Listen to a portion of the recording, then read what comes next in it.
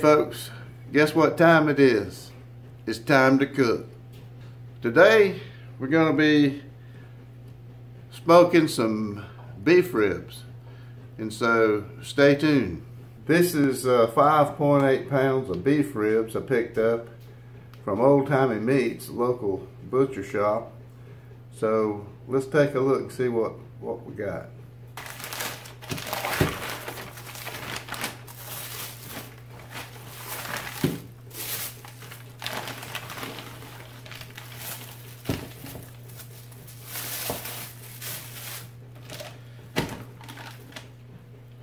Looks like we may have a little trimming to do, take off that back membrane, and uh, we'll get that done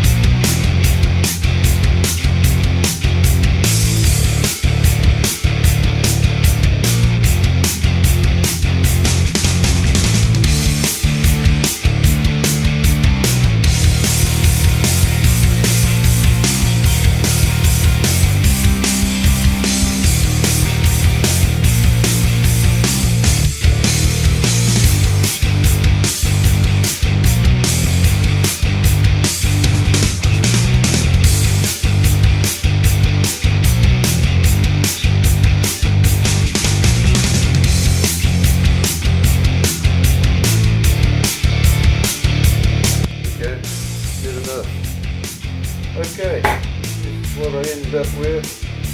Good. Enough garbage. We got something to work with. Okay, we're going to apply kosher salt. Nice and liberally. Do the old Texas recipe, beef rib recipe.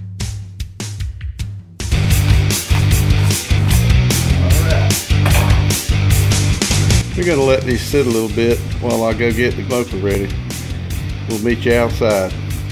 Just so you know, I did put the Worcestershire, Worcestershire sauce on the beef ribs.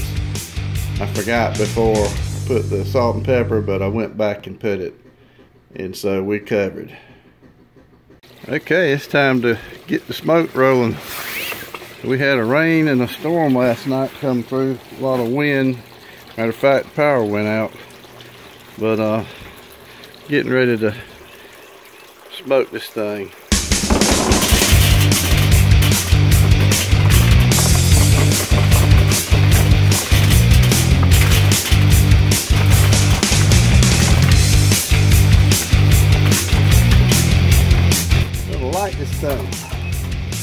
Pretty good way to do it.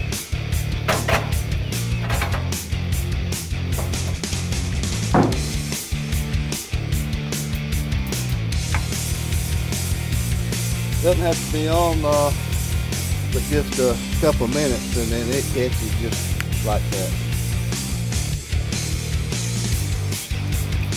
I've got my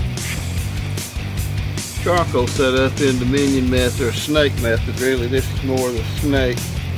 I'll be lighting fuse on one end and letting it get started that way.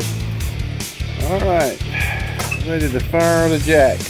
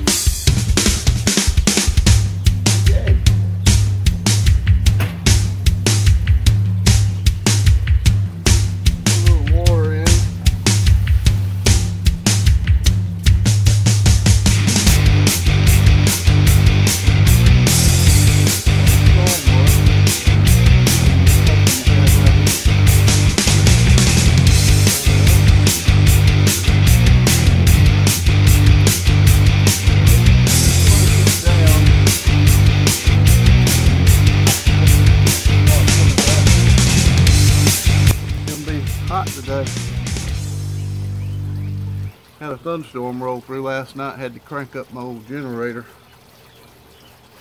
That's what they're for. All right, temps are up.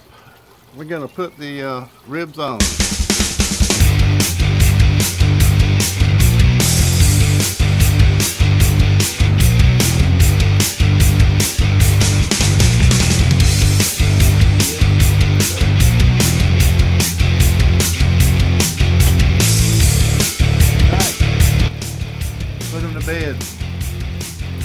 We'll let that sit for I don't know, about an hour we'll come back and check on them. But it'll be a low and slow. These beef ribs have been on an hour and 40 minutes. My temp is 264. Don't want to get it much higher than that. Excuse me. Aaron Franklin, I watched his video and uh, he says you don't want to cook beef ribs let that temperature get way up. Or in the bones can leach out if you get too high, so you want to keep them down. Alright, put it back to sleep for another couple hours. Check back later. We're four hours and 25 minutes in to the cook. We're running around 251 on the temp. That's a great level. Thought I'd take a look at them. They're looking good. Plenty of pullback. Give them a little bit of love. We'll check back. Check it with this. See what we're reading. That one said 180 on the other probe with the storm work. Yep, they're running about the same.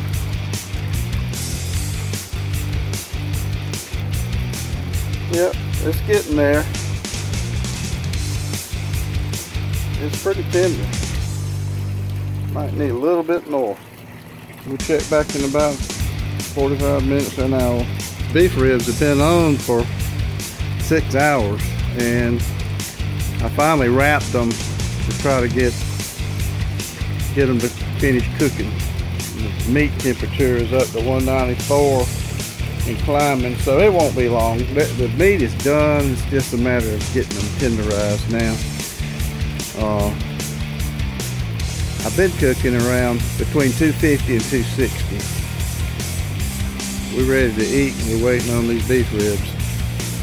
I just wanted to have them a little more tender than what they appear to be. Okay guys, this has been a seven hour cook on beef ribs. Not sure where I went wrong. I guess I should have wrapped these ribs at the three hour mark. Uh, I ended up wrapping them at the six hour mark. And we're still just up to 198. I wanted to get to 203, but uh, anyway, it's getting late. We gotta eat. I know they're done. That's not the issue. I guess it's the tenderness of them we'll see how they turn out when we get them on the inside and uh, we'll see. Hold on. Okay guys, uh, time has come. These beef ribs cooked for seven hours on that WSM and I couldn't get the meat temperature to go above 198. I didn't wrap them until six hours in. And I guess I should have wrapped it around three hours in. So let's see what they look like. Guess I'm on the edge of that bone there. Yeah, they were doubled up.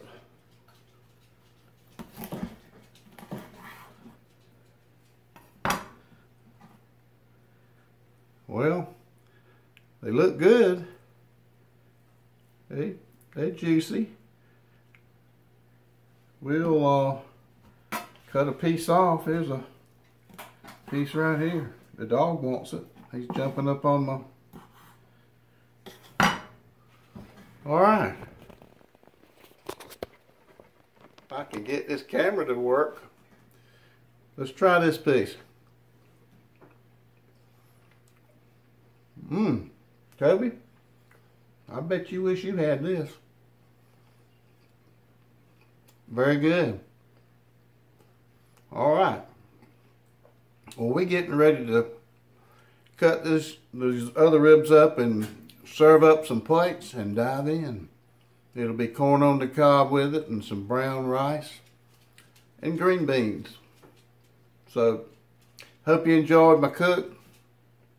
I'm still learning, folks. This is only about my 10th cook, so I'm still a rookie. Adios.